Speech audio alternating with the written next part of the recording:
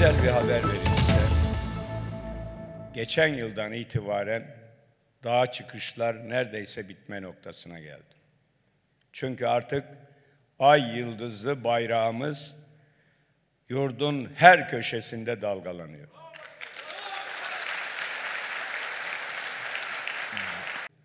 Değerli kardeşlerim, şu Sakarya'da yaşanan olayı görüyor musunuz?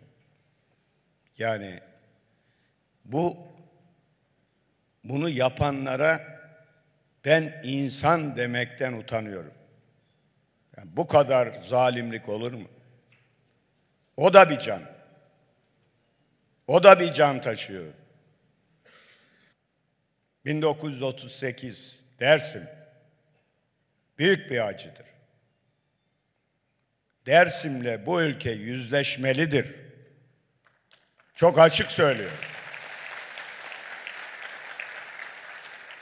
Hiçbir yanlışın arkasında durmak gibi bir lüksümüz yok.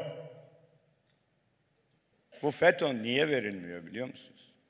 Hiç merak ettiniz mi? Bu kadar ısrarımıza rağmen bu darbeyi yapanların başındaki verilmiyor. Bazı şeylerin ne olduğu ortaya çıkacak. Bundan endişe ediyorlar, onun için vermiyorlar. Çok açık söylüyorum. İrfan merkezleri ve cem evlerinin artık statüsünün tartışma alanından çıkarmaya karar verdik.